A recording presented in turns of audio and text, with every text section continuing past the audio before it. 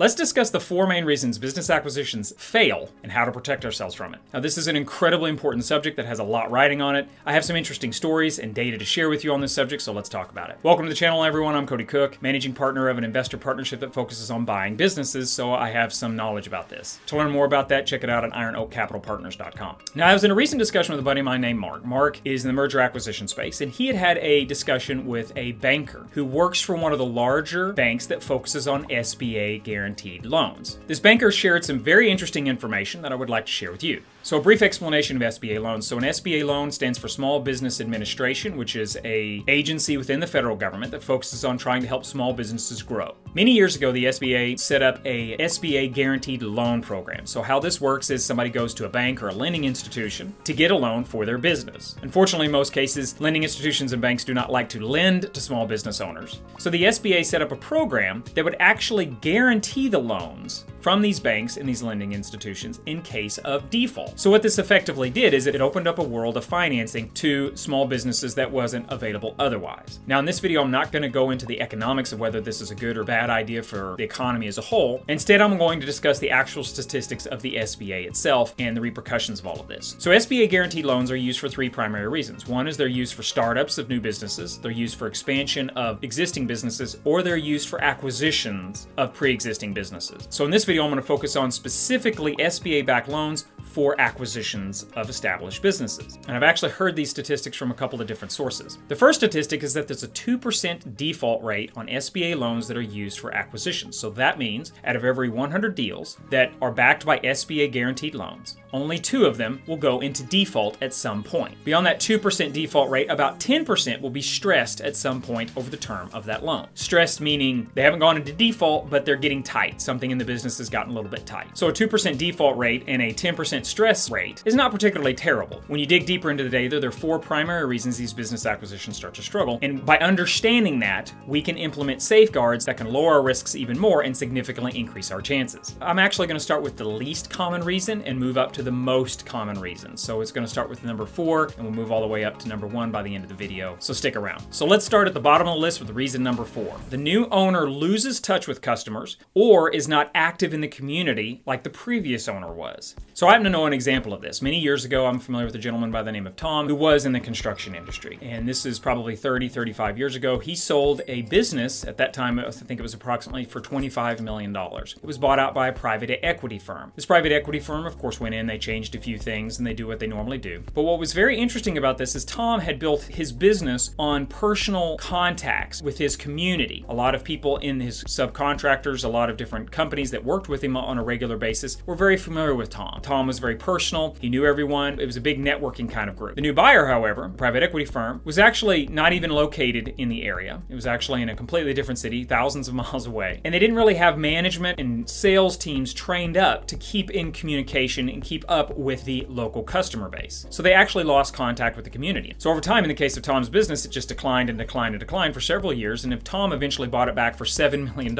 a business that he just sold for 25 million to these same people, interesting side note of the story is he went on to regrow the business back to where it was and sold it for something like $75 million a number of years later. So how do we make sure that this doesn't happen to us when we buy a business? Well, for starters, we need to make absolutely sure the sales team, the management team are all very focused on making sure they keep up with the customers as they leave the business over time. Often in some industries, it's really important for the previous owner to stick around. And so a common strategy that one could see is that you would keep the previous owner on. You kind of keep an office around in which the owner would occasionally show up, maybe once a week or even once a month. Usually you would explain it as, you know, Tom is starting to slowly move into retirement. He's backing away from the business a little bit. You kind of explain that to the customers. And over time, as customers get used to this arrangement, the new owners will inherit the brand equity from the previous owner. So this strategy works very well to make sure that businesses transition from one owner to the other. Okay, so let's move on to the next one. The third reason, the seller poaches away employees after the acquisition. So an example of this, let's say we have bought a business from a seller and that seller has gone on and maybe they started another business, maybe they own another business. It sometimes happens that these sellers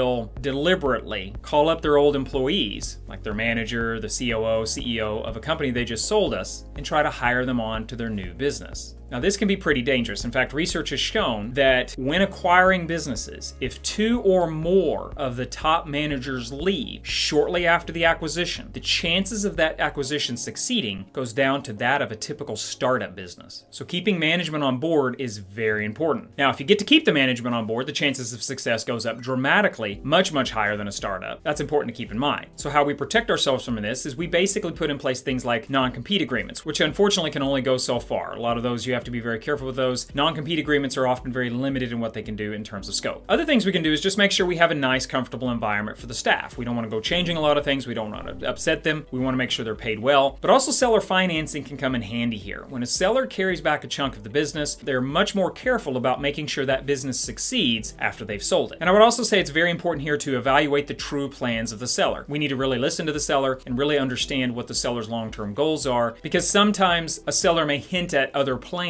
that can put us at risk for these kinds of situations. If you've enjoyed this video, please click that like button. It lets me know that you guys are enjoying this and I should do more videos like it. Reason number two is concentration issues. So, what do I mean by concentration issues? There's actually a lot of different ways to have a concentration issue. But for example, all the revenue may come from one or two customers. Maybe all the supplies come from only one or two suppliers. Or in the case of a retail business, for example, it has one location. I've seen cases where a one location retail shop suddenly road construction out front, it dramatically affects the ability for customers to get to the store and the store fails. In other cases, you may have special knowledge that's required by employees or special licensed employees that are required in order to run the business properly. That's another form of concentration issue because if that staff member leaves, it may be incredibly difficult to get a new staff member that can allow the business to continue to run. I am familiar with a number of examples in which somebody had bought a business, they had, say, like 30, 40, 50% of the sales came from one customer. This is unfortunately common in a lot of manufacturing businesses. That customer goes broke, that customer leaves, that customer changes direction, that customer starts to really hammer this business down on price, dramatically lowering the margins and putting this business into great peril. Concentration issues can often be very difficult. Now, in many cases, we just don't buy a business that already has a lot of concentration issues. It's usually one of the best ways to avoid this. That said, once we kind of recognize it though, we can work over time in a direction that will lower the concentration issues dramatically. Another alternative to protecting ourselves is actually the terms of the deal that we get into. So, for example, the seller carry back a big chunk of seller financing on an earnout, and that earnout is based around whether or not that major customer or major supplier or something stays in place and continues to buy or sell at the same rate as they have in the past. So you can protect yourself through deal terms in that way. So reason number one, and by far the most important reason, is the buyer goes in and changes stuff with the business. Think of a business as an intangible machine, okay? You actually cannot take a picture of a business. Sure, you can take a picture of a building, you can take pictures of inventory, of equipment, of employees working, but you cannot actually take a picture of a business because it's entirely intangible. All a business is, is a group of people with a group of assets using a set of invisible processes and systems that really only exist in everybody's head, selling to a group of customers. That's it. That's all a business really is when you look at it from a much wider view. What happens, unfortunately, in a lot of acquisitions, especially, and you hear this all the time with private equity firms, is they go in and they change a lot of stuff. Every time you start to change the processes, you're literally changing that machine. You change out a lot of assets, you're changing that machine. You change out the staff that works for the company, you're changing that machine, and so on. That would be equivalent to buying a car, opening up the hood, and starting to pull out parts and replacing it with parts that weren't really meant to be designed in that car in the first place. So by doing that, you can mess up this business machine, this cash flow machine that businesses are supposed to be. So what actually happens is buyers go in and they change these businesses. They fire employees, they move around assets, they do all kinds of different things that causes problems in the business and they goof up the business. You can see this in a lot of cases. You see it in really large companies all the time. This is one of the biggest issues with mergers. And this is one reason guys like Warren Buffett, for example, actually when they acquire businesses, they do not want to merge these businesses together very often. In most cases, because merging businesses together requires cultures to merge, which can be very difficult. And by trying to merge cultures, you end up in a situation where that inherently changes the processes and changes the people within the system, and it can bring on a tremendous amount of risk and dramatically lower the chances of the success of the acquisition. So, how do we protect ourselves from this one? Well, the simple answer is just to change as little about the business as possible for at least the first year. That means we don't want to change the staff, we do not want to change the business systems, the models. Businesses, of course, they do have to evolve over time. In most cases, if you can keep top management in place, that's very, very important. If the seller of the business was the top management, in most cases, there should be a strong second employee in place, a strong lieutenant, so to speak, who can be promoted into the position of management. And so that overall, there's very little that'll actually actually change in the business. So I really want to reemphasize that these issues are very important to understand and we must protect ourselves from these. Once these are understood and proper action is taken, success is much, much more likely. In the comments section below, please share with me some of your experiences and stories related to this subject. What have you seen with acquisitions in the past or additional insights you may have? I highly recommend this next video. It's been specially chosen just for you. I also want to say I've left some important links in the description that might be pretty useful to you. And that is it for me today. Thank you for watching.